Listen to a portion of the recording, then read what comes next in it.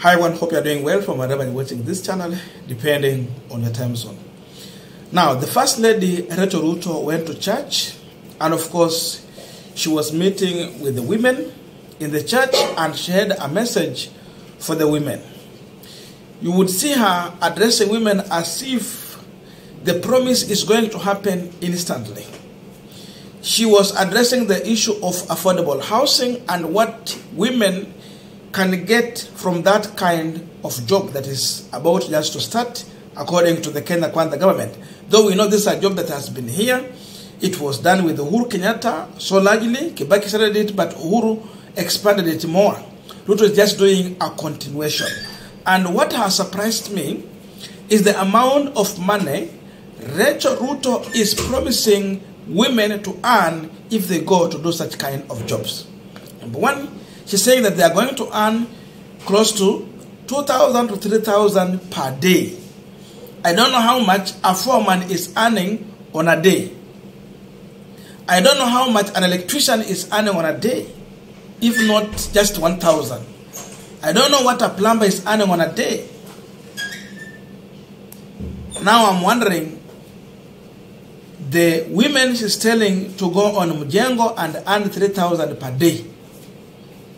Which kind of job or contract are they going to do there?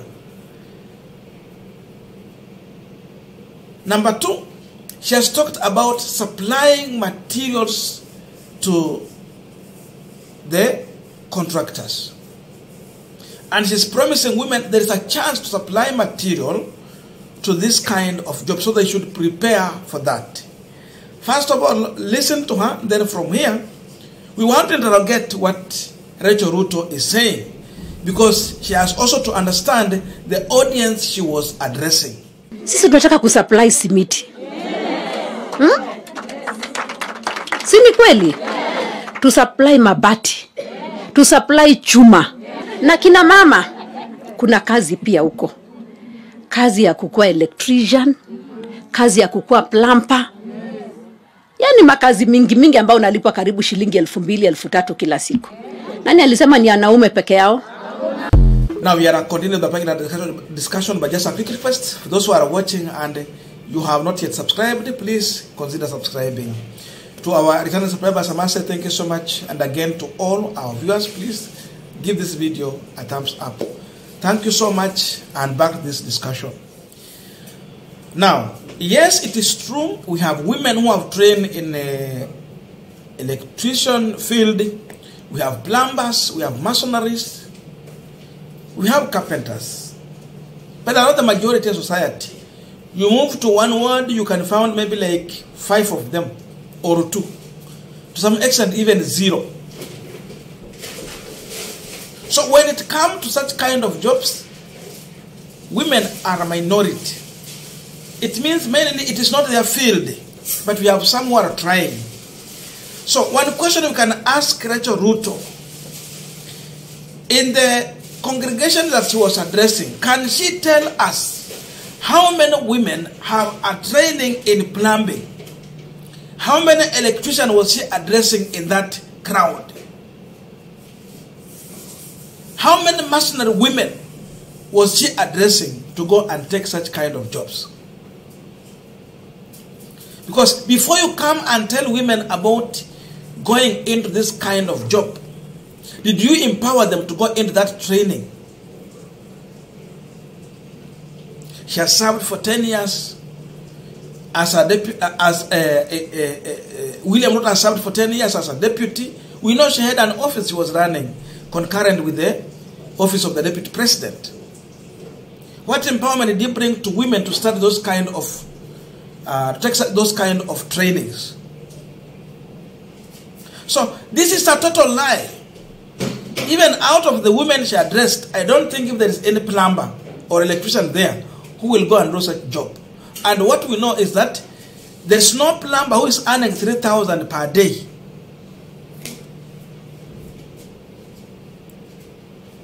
There's no electrician who is earning even 2,000 per day.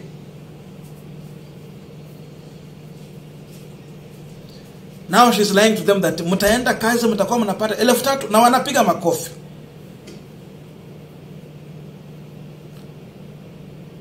so that's where we have reached. Before upiga makofi nafaa ujiulize are you a plumber? Are you a carpenter? Are you a mercenary? Or what is your field in this job that she's talking about? When Ruto talked about mama mboga this are mama mboga are people wenye wako huko chini kabisa she's talking about supplying materials to the site. Simple question. Before you clap you should ask yourself are you running hardware? Uko na hardware? Unataka kusupply hiyo mabati anaongea. Uko na hardware ya kusupply hiyo chuma anaongelea? Do you own hardware? Okay you don't have. Now do you have money that can you, you that, that that can help you to get such contract. Tukiongea mama- maneno ya mama mboga we are talking about small medium enterprise. Watu wenye wameweka biashara ya elfu hamsini elfu mia moja elfu ishirini elfu kumi. Kwa hii hasa la yenye waliweka si wanapea watu shilingi mia tano? Sijui kama ilifika elfu moja. Wana wanaambia watu unaweza anza biashara na shilingi mia tano sasa imagine a man who thought that mama mboga need 500 to run their business. Now the wife is coming to tell us that mama mboga can supply material to the site. Hiyo chuma Rachel anaongelea. Unajua unahitaji kuwa close to a half a million for you to supply. Mtu wa chini kabisa. Ndio akupee tenda ya kusupply so mama mboga mwenye wanapea shilingi mia tano kufanya biashara ya mboga kutoka kwa Hustler Fund mia tano. How do you get a contract to supply cement? Utapataje contract ya kusupply sand to the site or ballast? Itatoka wapi? Do you have a car? You need to have a, a truck if you want to supply or uko na pesa ya kukodisha truck ya kusupply kama ni ballast. Watu watu wanauza contract. Wale watapata hizi contract there are people who have connection with this government and they are not poor rich people. Wewe ndio utaenda pale uambie mimi niko na na, na trucks tano nataka contract ya ku deliver. Wanakupea contract so utakuwa na deliver mchanga utakuwa na deliver ballast. Hizo ndio zile unakuwa unaona kwa barabara zile roli mlikuwa mnapanda juu mkiimba mambo ya hasla watu wa roli ndio wanaenda kuwa rewarded here. Mama mboga has no space in this field because they don't have that money that can help in supplying those material to the site. Unless if Rachel Ruto is talking about another different mama mboga not the mama mboga we know in the market who is struggling to pay the taxes on daily, on daily basis. Mama mboga angekuwa na uwezo wa aina hiyo hangekuwa anakaa kwa kibanda. Angekuwa amefungua eh, duka kubwa maybe a, a retailer kubwa wa, with, with a chain. If not then they will be running a supermarket. Rachel Ruto anaongelea watu wana run supermarket for you to run a hardware you will need like a million. A million shillings. Hiyo ndio hardware ya chini. Hiyo ndio mtu anaweza tenda ya aina hiyo. Hata hawezi pata hiyo ni pesa kidogo sana. Sasa mtu wa hardware ya kiasi hicho huyo sio mama mboga na huyo sio bodaboda na huyo sio hustler. There's a person who has employed people wa kufanyia kazi hapa na pale. Why come and lie to our women our sisters our mothers our grandmothers on broad daylight on camera. Nataka to supply which material? Mama mboga akona material akona pesa gani ya kusupply material? And you know when Gashako said that they're running a company we thought it's a joke. But now we can confirm to you right on this camera that it is indeed is a company. Because now we are seeing first lady coming to market mutukufu lies and our women are buying into that. Why should you clap?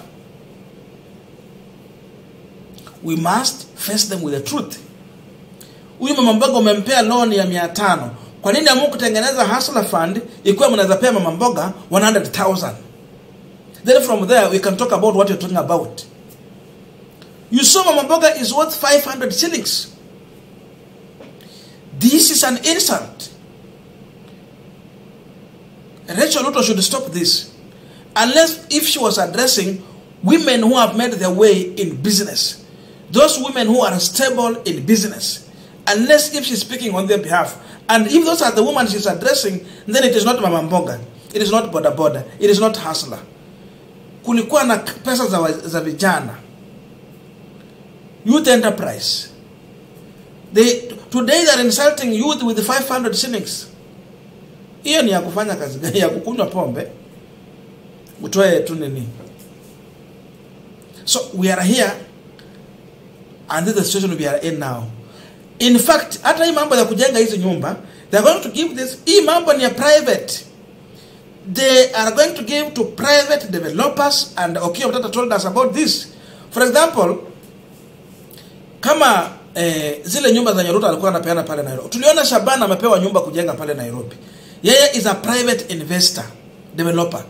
So for him he also he will go for the people who are going to supply him with the material yenye haitampea hasara. He has connection with these factories. Akitaka simiti anapiga tu simu Bamburi wanampea simiti direct on a cheap price because they are here to maximize profit when will they come to contract mama mboga boda boda and hustler supply them? Hiyo yote ni ukora na lazima tukatae ukora